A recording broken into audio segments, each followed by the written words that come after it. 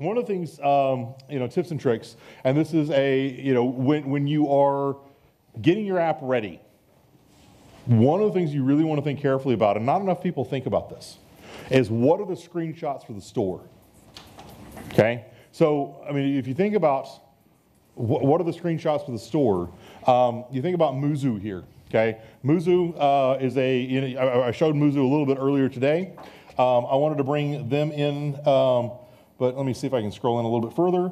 So one of the things that they didn't, I mean, they, they thought about it a little bit, but they, but they, they didn't really necessarily go through it in uh, great detail and have their marketing and their design people uh, look at this is when they were looking at their screenshots, they've got time is running out, they've got uh, ninths of something or another. Um, I mean, this little picture down here is somebody's butt. And, and I mean, it, it, it's somebody's backside, and they're kind of facing an audience, and it's somebody I've never heard of.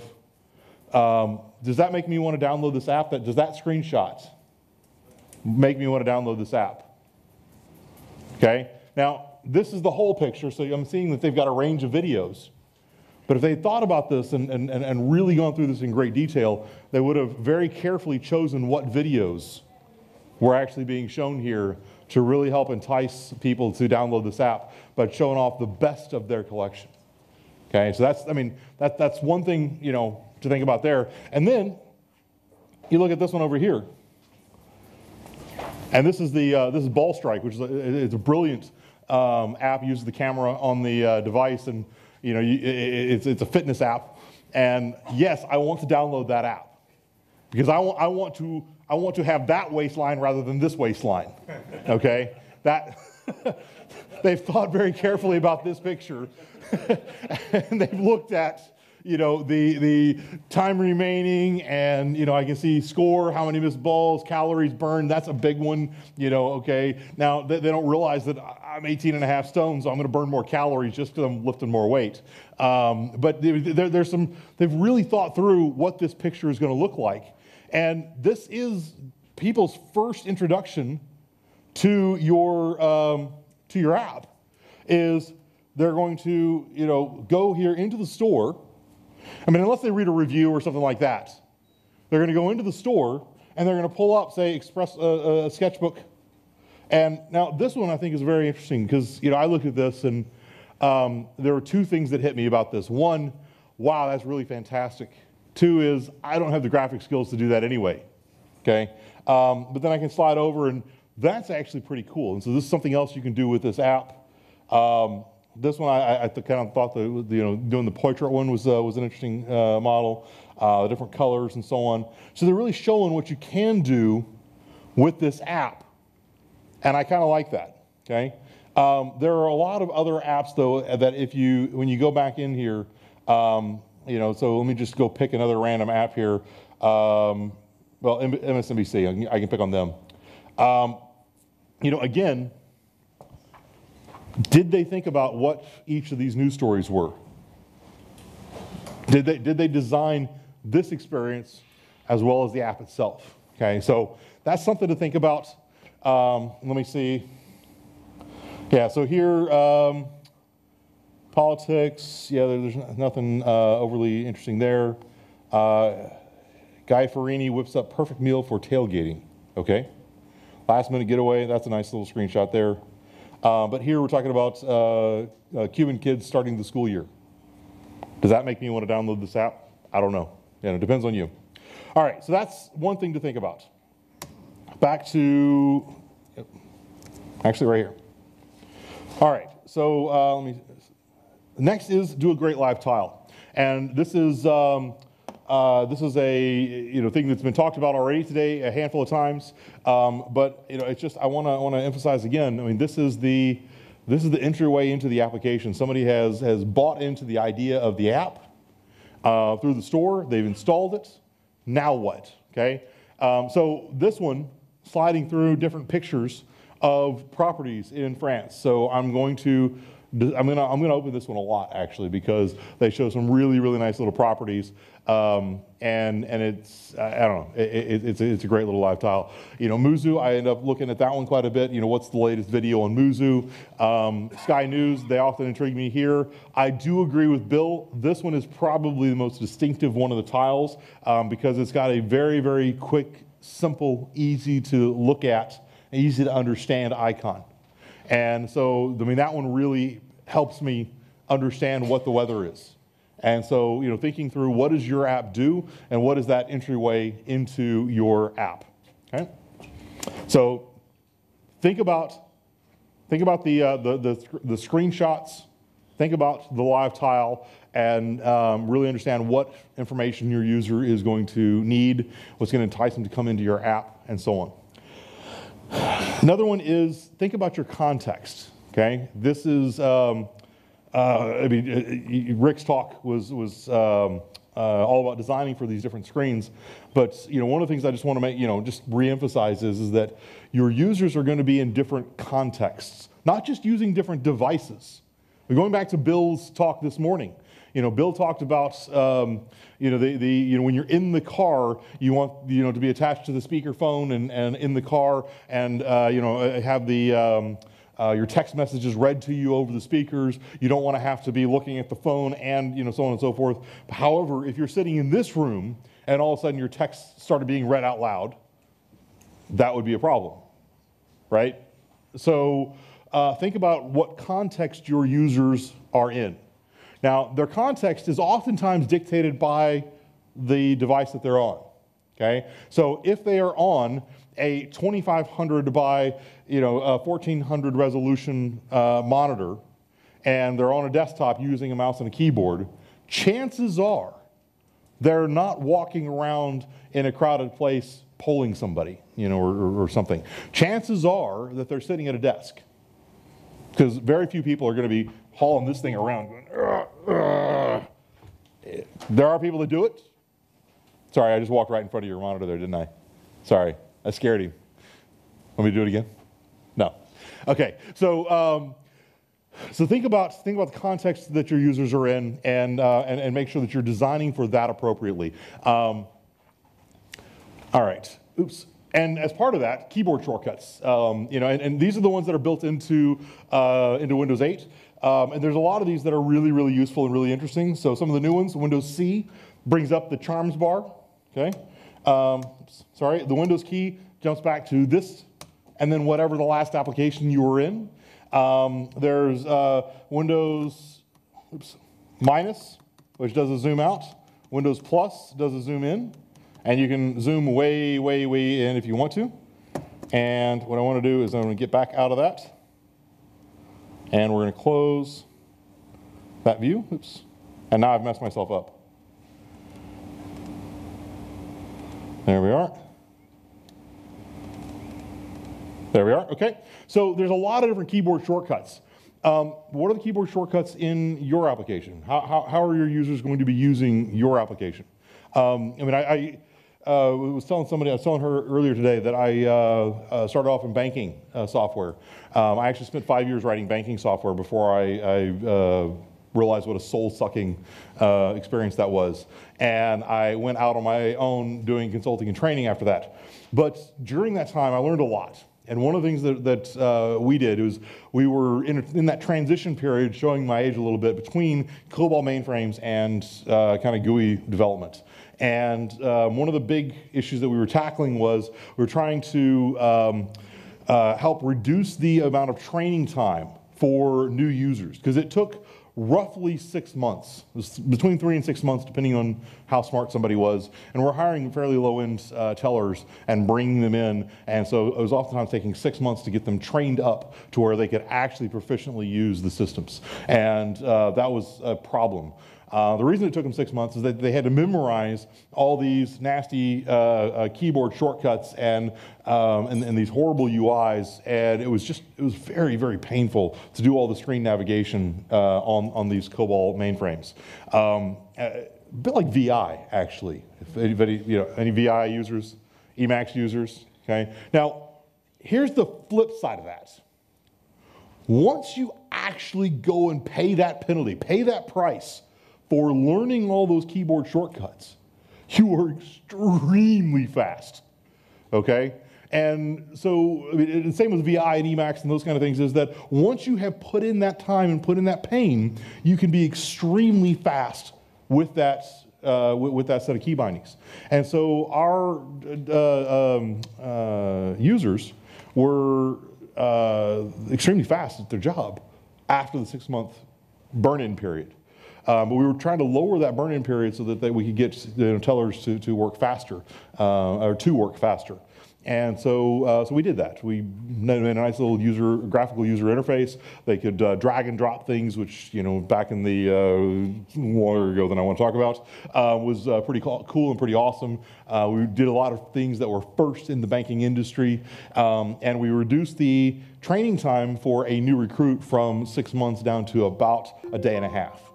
And so in a day and a half, we could get a user, you know, new teller to do transfers, to do um, um, the uh, uh, deposits uh, to pull up and, and, and move money from savings accounts to bonds. And, so, and it was crazy the amount of things we could get them to do in a day and a half. The problem was is that it would take them about a minute and a half to do a, a bank transfer, which was great for the new users.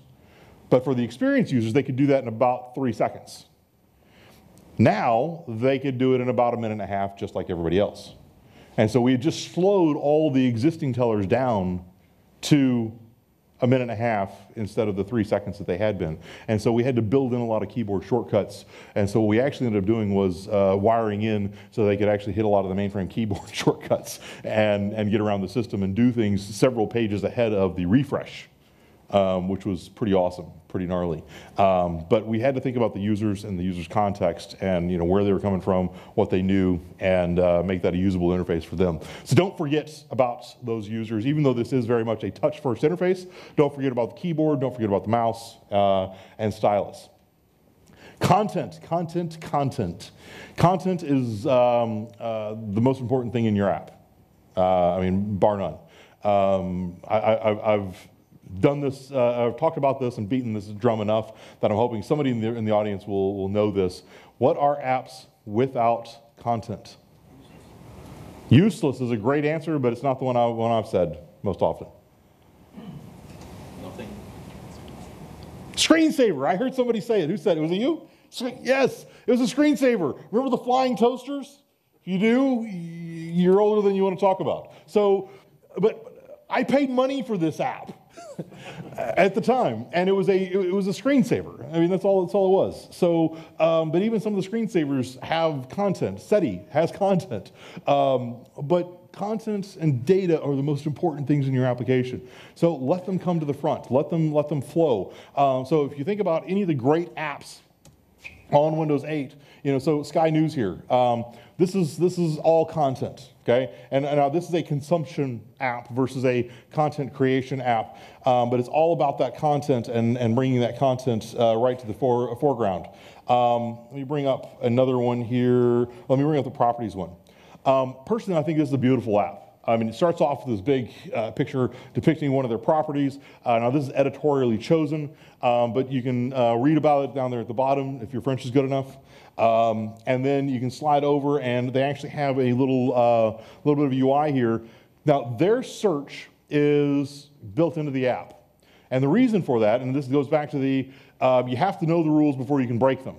Their search is more complicated than a text search. So, you know, over here, there is a ability to do a text search in this app. But I also want to be able to go find and say, you know what, I'm going to look for a very expensive uh, castle, okay? And then we can go find, um, you know what, let's say that we want that in Burgundy because they, they do really nice wine. Um, and we're going to find, oh, there's no castles for more than that. So let me, uh, let me just say, let's do, let's just do that. There we are. So there's five castles that are worth a lot of money. Um, and, you know, so, so that's, you know, bringing that content and very quickly uh, allowing me to interact with that content. They have a couple of editorial selections here, and I can just pick one of these, and these pictures pop up. You know, but it's all about the content. There's not any um, boxes or lines or fences or you know uh, other things crowding that content. Um, it's, it's, just, it's just the content and allows me to interact directly with that content. And that's exciting and that's, that's useful. So let me, uh, you know, I, again, this is, I, just, I just like this app and, and have, uh, I found it about a week ago and uh, I've been demoing it to everybody since then. So you guys are my latest victims. Sorry. Um, all right, back to here. So content, content, content. Be a typography geek. Um, the, has anybody ever been to a conference about typography? Got one, two, three, four, five, six. Awesome. Seven. Awesome. There are also, I know, I know half of those people at least, and those are the hardcore designers. Um, this is, uh, I mean, there's a handful of, of, of um, fonts that are being used very heavily throughout Windows. Um, you know, uh, Andrew can talk about uh, that in a lot more detail with a lot more authority than I can, but understand the fonts that you're using, understand the font weights that you're using, the sizes that you're using, um, be a typography geek, and uh, that will help your app shine because we're not boxing and fencing all the content. Instead, what we're doing is we're allowing you know, the, the, the typography and that use of typography to help separate the content and help make that come more alive, okay? Um, use the right contracts. Uh, we've talked about these quite a bit, uh, or some, some, I guess, through the day. Um, but there's a lot of these contracts. Some of them are a little more subtle than others. Um, so if I'm, if I'm just going to do a search here, so I can search across all of my apps. Um, so let me do a search for Dublin. Okay, so I've got two here. Um, Dublin Forecasts and Dublin Outdoor Fitness. Uh, I can do a search in the store. And this is all by implementing the same um, uh, contract. Unfortunately, there's no Dublin things there. But I can search AccuWeather. So AccuWeather, uh, you know, they already showed some of their search results there. So there's all the Dublins that they're finding, okay? So did you know that there's a Dublin, Arkansas, for example? Okay. Um, I would have guessed it, but I wouldn't have known for sure. Bing, Muzu. So that's, there it is. So now it's on the search. Okay, so let me go back to here. Uh, finance. You know, so I'm able to very quickly and easily with the search contract search down through all of these applications. Every single one of the applications that is on this list has implemented the search contract. And I can, I can search across all of them very, very quickly. And the ones that get used a lot end up bubbling up to the top. Okay, so you can tell I, I end up searching the uh, store and weather quite a bit because um, those are the two that are kind of at the top, and Bing is right there as well because uh, I end up using that uh, quite a bit as well. Um, so just by implementing the search contract means that your app will be used more often because it's going to show up there and people are going to use it in their searches. Okay, um, so that that's that's pretty awesome. Um, implementing the uh, share contract. So for example, let me, um, uh, oops, not that. What I want to do is, uh, let me just share my Twitter page here. If I go to hit share, notice that these apps come up here, okay? Mail, StumbleUpon, uh, uh, Tweetro, uh, People, and Rowi, okay? Let me go to, let me go back to Muzu here for a second. Oops. There it is. Let me pull up the, the video here. And um, yeah, so if I want to share this, I go hit share, okay? Those same apps actually come up here, okay? Now, let me go back to Internet Explorer, and I'm going to go select a bit of text here. Oops. Sorry, I'm going to try to select a bit of text. Here, let's do it with the mouse here because I'm running short on time. All right, so share. Now notice that there's a different list of apps that come up.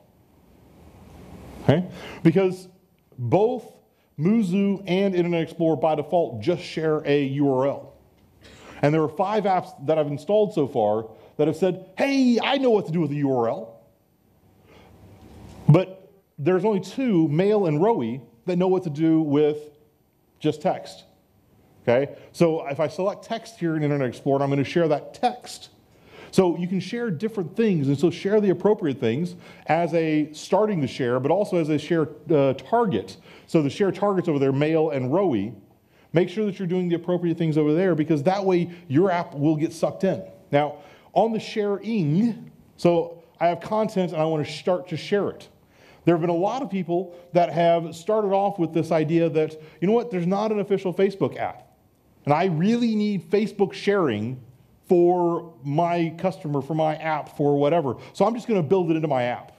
And I'm going to tell you, don't, don't get sucked in. Don't, don't fall to that temptation. Okay? By using the share contract, and you're going to share when there is an official Facebook app, that I can guarantee you will be far more flexible and, and, and have a lot more abilities than you will be able to build into your app. You'll, you'll automatically already be able to share with it. You don't think about it, it just happens. You don't have to do anything extra. You, I'm already sharing with, you know, with Rowi here, and I can guarantee you that Internet Explorer had no idea that Rowi existed. Okay?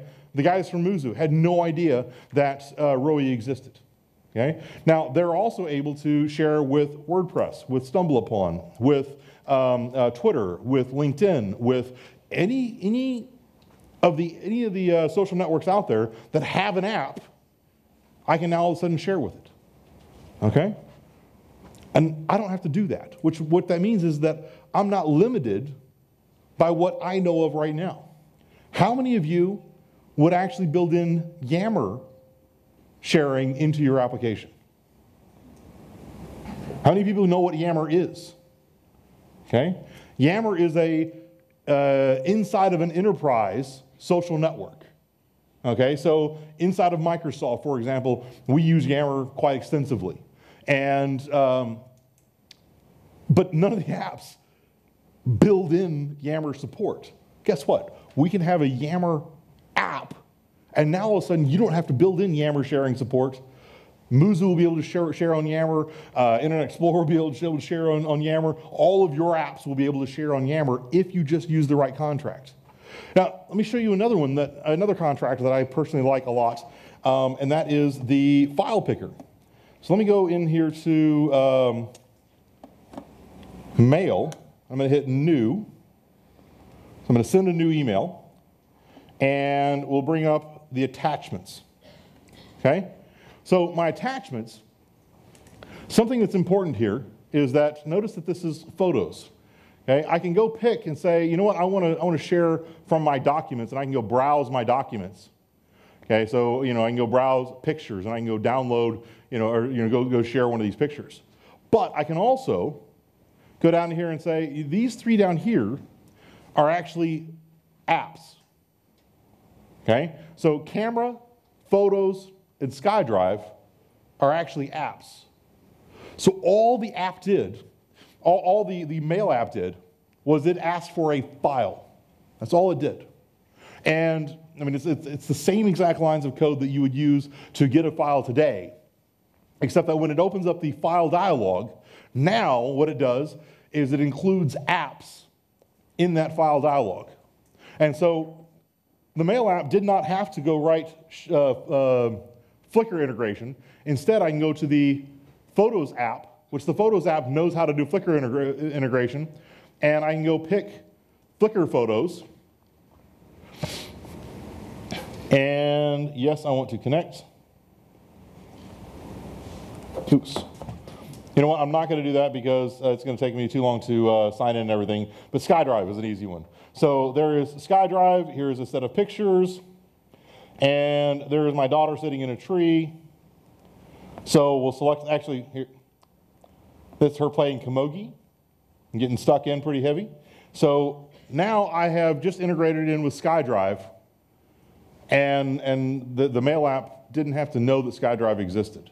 All it did is ask for a file, and now I can get that file off of uh, SkyDrive. But think about your app. Can your app provide files as well as ask for files? If so, implement the file picker uh, contract. And uh, very quickly and very easily, you are integrated in with the rest of the um, ecosystem. I mean, what's exciting about this for me is, is that the more applications that your users um, uh, uh, install, the richer and deeper the fabric of Windows 8 becomes for them. And the, and, and the richer that experience is going to become for them. And so I get really excited about that uh, personally. Uh, this has been hit on quite a bit today. Um, you guys are probably sick of this one, um, but touch first. Um, now, I mean, as I said, remember where your users are, what context they're in. Um, definitely uh, file and keyboard, sorry, mouse and keyboard are going to be very important to them. Um, but make sure that you are designing for touch first. There's a lot of things that that means, okay? So provide instant visual feedback when they're touching. Um, so, you know, on a touch down, commit on a touch up, okay? As an example, let me go over here to here. So I'm going to notice that that bends away from me, and as I held, kind of did this little duck. Oops. Now it's really getting angry with me because I accidentally hit the space bar too. Um, but if I just pull down, notice that it does the little selection there. Okay? So that's a nice little gesture, just that nice little pull down. But if I just hold it, notice that it bends away from me and lets me know that I've touched that. And when I let go, that's when it brings that app back up. Okay? So that's what we mean by you know, the instant visual feedback, commit on the touch up. Actions should be reversible, so, say, so users can safely explore. Um, who was it? Uh, uh, Rick was talking about earlier. How um, on the panel, how you know users will explore the application until something breaks. When they've broken something and they can't fix it, that's when they get scared and worried and, and, and uh, have a lot of discomfort. But if they can if they can break something and then undo it, you know, so actions should be reversible so the users can safely explore and, and delve within your application. Um, then, uh, you know, so when, when your users are doing something irreversible, let them know. Uh, think beyond tap and touch. Think about the sliding and the interactions and those types of things. Um, the, uh, that's, that's very important to a touch first interface. One of them that I've seen people try to break quite a bit is pan in one axis only. This gives them a stable rail for their uh, navigation. Um, so as they're panning side to side, you know, or up and down, um, just pick one, up and down or side to side. Don't, uh, don't try to mix it. So where they're panning along side to side and then all of a sudden they're panning vertically because now they get lost and they don't know where they're at. Um, and and you know, does it make sense to be able to go across and then up? And then what happens when they go back across? Do you, do you take them to somewhere else or do you take them back down to here? There's a lot of confusion there with the users on what they expect. And so just pick one axis and, uh, and stick with it. Um, this is the, the slide that I was talking that, that Rick was mentioning. Um, here are a lot of the gestures that we're going to have. So there's a there's a, a, tap for action, a long tap to, to learn more, to explore more. Um, uh, there's a nice little just slide it down to do a selection. Um, the uh, uh, rotation over there, um, and this is this is one of them that I, I like showing just because people um, uh, don't always. Uh, let me go find puzzle touch here puzzle touch.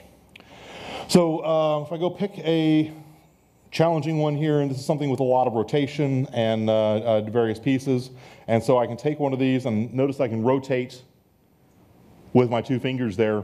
Um, and that becomes a, a, a, especially in the puzzle, a nice little gesture. But how does this work in your application? But if you're doing the rotation gesture, don't worry because you can automatically get the nice little circle there. And so I'm doing this one with the mouse. And so let me just go, I'm just gonna go select another piece and I get that same little rotation there. So I can do the rotation with a mouse and keyboard. It's just not quite as natural. So um, you know, that's one of those, you know, as you're thinking about these touch gestures, what does that uh, look like? And then app bars from the bottom and uh, charms from the side. Remember how long these fingers are? Okay? Um, so this is a, we, we, sat people down with a, with a piece of paper and literally painted their fingers. People with long fingers, we painted them red. people with medium-sized fingers, we painted them yellow. People with uh, small fingers painted them green, and this is what we ended up with. So this is where your users can reach to comfortably on the side of the slate. And then, um, you know, so think about your interaction and where, where your users are going to be touching uh, to, uh, to get to those bits. Also remember that a, um, the width of the average finger, and, and, now, I mean, I've got these big moose claws. I mean, it's like, you know, touching with an elbow. Um, the, the, so, so my fingers are wider than this. Um, but the average finger is about 0.9 inches or about 2.4 centimeters, uh, or roughly on an average computer screen, 70 pixels. So Make sure that your buttons are nice and wide so that my big moose claws can, can touch them. Make sure that you got enough of a gap here. That's about 10 pixels between these, but it's, it's, a, it's a fairly, you know, it's, it's a healthy gap, okay? Um, between the different groups there, that's, uh, I think it's 22 pixels uh, between these two uh, uh, sections here. Um, you know, but it, I mean, it, it, make sure you're using spacing, make sure your buttons are big enough and those kind of things. Design for the touch keyboard, okay? Remember that as you're talking about your touch keyboard, or sorry, the touch, um, you know, if I bring in Internet Explorer here and I go touch there, notice where my, it's right here, all the way up here, is where I get to actually enter text. If you have that down at the bottom, now all of a sudden the keyboard hides that and you can't see it anymore. So design for that. Make sure that when that keyboard comes up that your content that where they're entering text is going to be above that. You know, think about where, um, where this keyboard is going to be, where it's going to hide, and those kind of things. So um, those are some very uh, uh, useful things. Pixel density. Um, this is a, I, I believe Rick talked about pixel density, um, but there's a, there are three different uh, pixel densities that we'll support out of the box, and you don't have to do anything extra for these. Um, there's actually, and, and I'll, I'll, go ahead and click into this. Actually, I've got three minutes, so I'm not going to stay on this for long. Um, you know what? Grab me, grab me during drinks, and I'll show you this demo. Um, but all you do is you provide three different size images. Okay? And those three different size images, you name them, dash 100, dash 140, dash 180, and it will give you, it, it, the, the system will pick up the appropriate one. And you don't have to think about it beyond that. Now, better than that, what you should actually be doing is using SVG, if possible okay? So uh, scalable vector graphics have been around for a very long time and have not gotten the airplay that they have needed. Um, but if you can, use SVG and then you don't have to think about this. Things will just scale and uh, be happy. Semantic zoom. Um, what are you showing on semantic zoom? Are you just showing the top level navigation? Or are you actually showing useful content at the semantic zoom level? Um, leveraging the animations. Uh, there's a lot of built-in animations and, and, there's kind of a, a Windows personality, so to speak. And so, you know, there, there's, um, if you're using the built-in controls, so if you're using the, the built-in list box and the built-in grid view and those kind of things, those animations just happen and they're, and they're automatic and you don't have to think about them. On the other hand, if you're building your own controls or doing something a little more bespoke where you're not actually using those built-in uh, controls, um, we have animation libraries that are available from uh, JavaScript, uh, uh .NET, and uh, C++, and you can use the same animations that we use, okay? So in, um, again, grab me at the, at, during drinks and I'll show you the, the demo for this. Um, but literally it's, you know, we have two divs and one's div one, one's div two, and we play a JavaScript animation and call and, and pass in the two arguments, you know, div one to div two. And what it'll do is it'll do the animation just like the live tiles do okay? Um, the updating and um, uh, updating a badge or content entering, um, you know, what, is, what happens when you do a swipe select and those kind of things. Showing and hiding a panel. Make sure that your app fits in with the Windows personality by leveraging these animations and helping your user understand the context of their data and how things are getting from one place to another. So, with that lightning fast chatterbox talk, um, any questions